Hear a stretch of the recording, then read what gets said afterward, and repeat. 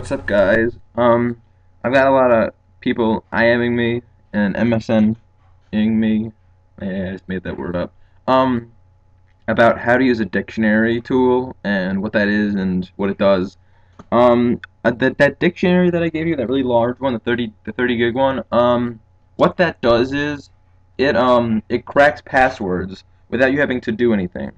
Um, right now I don't have any like websites that I know of that I really have to gain admin on. A lot of them have been, have been shut down or have their IP banned, have IP, IP, IP banned me. Um, but I will show you how to use a, a program. Um, it's called THC Hydra, and it it was originally made for Linux. So if you have Linux, I'll put a Linux version up in, in the sidebar.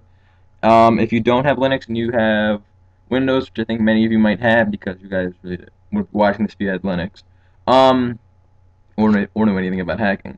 Well, alright, uh, I have, this is my CMD folder, and this is Hydra right here.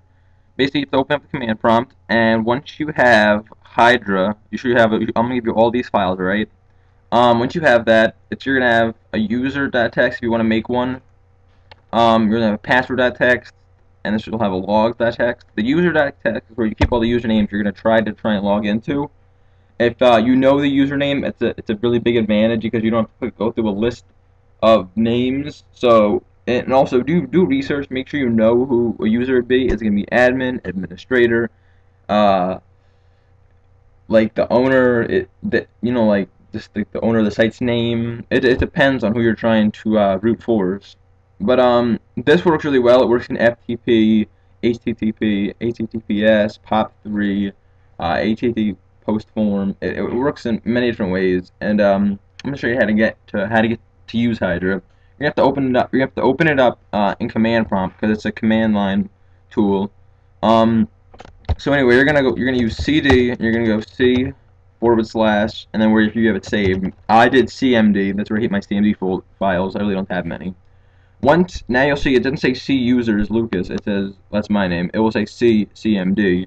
So now I can just click Hydra, and by doing that it tells me everything that I can use the uh, the syntax.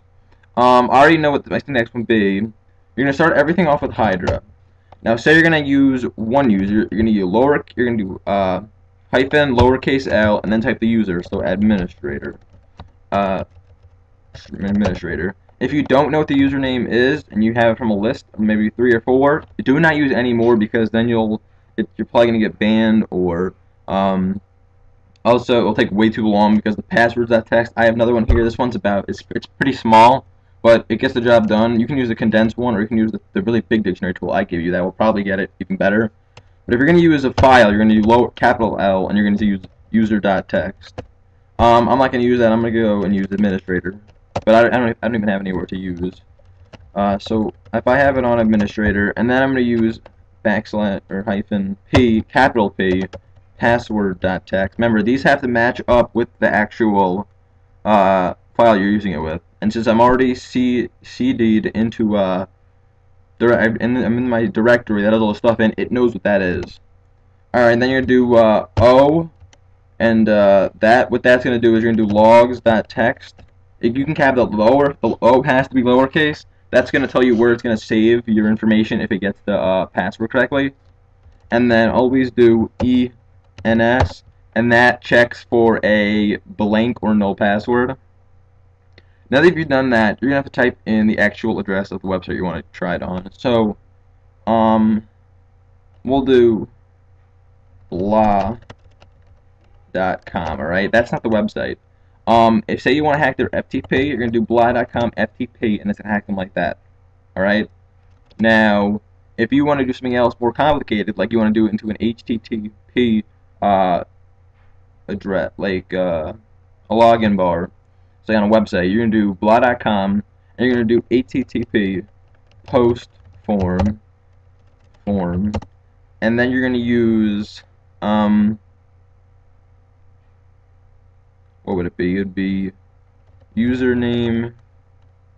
Oh no, you have to do this. You're going to, to open the quotes up. You're going to do backslash login if that's the place where it's lo located at, or it could be or it could, it, it's most likely going to be login. You have to look around, though. Um, login. You're gonna do username. What's it called? Login. Oh yeah, login. Um, and username equals user. Yeah, user. And oops.